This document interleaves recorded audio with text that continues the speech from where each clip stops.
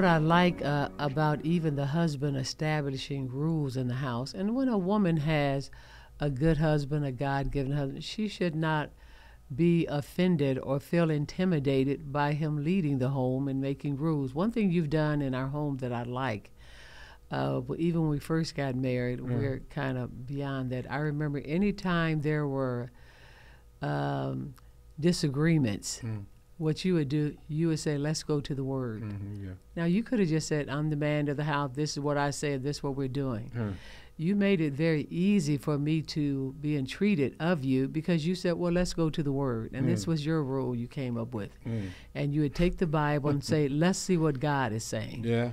And so you would open the Bible and you wouldn't read it, but you would have me to read it. That's exactly right. And Bishop, 99% of the time, God would speak directly to just what I needed to hear to convince both of us in the situation. Yeah.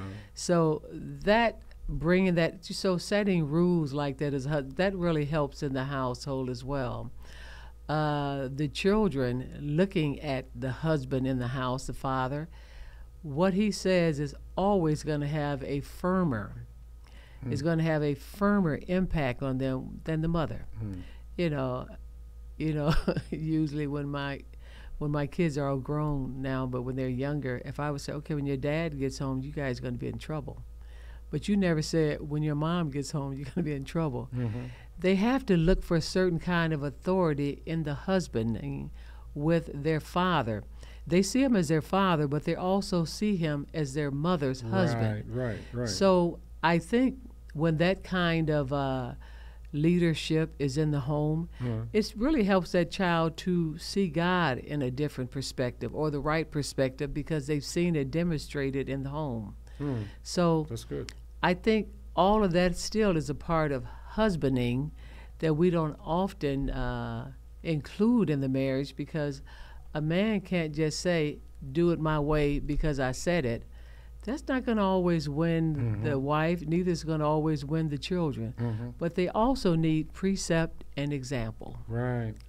That's a very good point. Is because when God um, designed this whole thing, He did not make a woman with the muscles that a man has.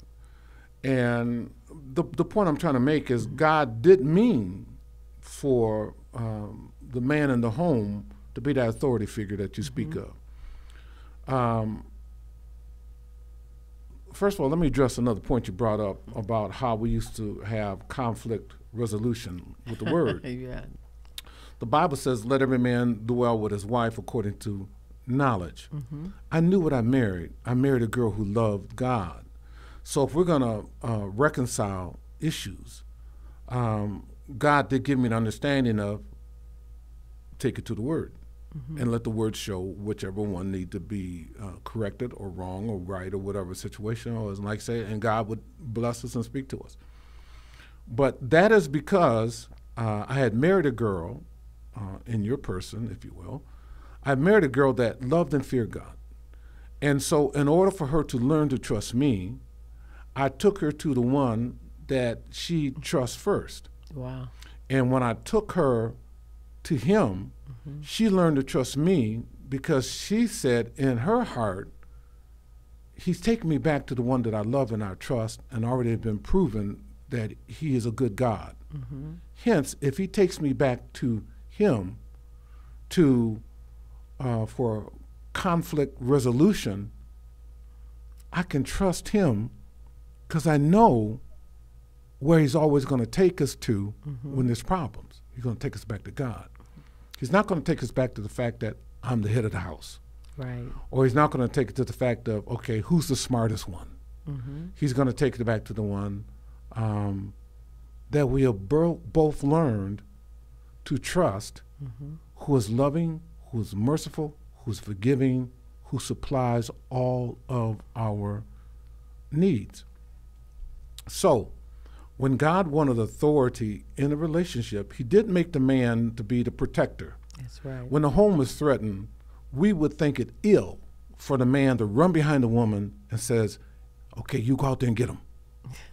I mean, the proverbial thought is, the husband goes out and rescues the family, Right. so to speak. Okay, mm-hmm. and I, I know I'm, I'm I'm playing into the situation here, but uh, he is the one that is that is deemed uh, the defender of the home.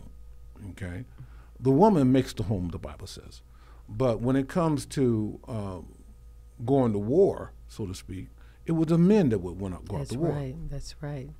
when that is in place, um, that the man feels like this is my responsibility, this home is my responsibility. It's hers to make it. It's hers to help us. It's hers to um, direct it, and that is true. That's why a man coming up with the phrase "I'm the man, do what I say" is a very foolish person. God took something out of you He did not replace, and He put that in her, and that is meant to help. Okay. So, um, and I don't want to get out in the weeds on this, but there has to be that level of authority in home. Uh, it has to be seen, uh, and that's where the woman helps the man to be a man. Mm-hmm. And this sounds corny by letting him be a man.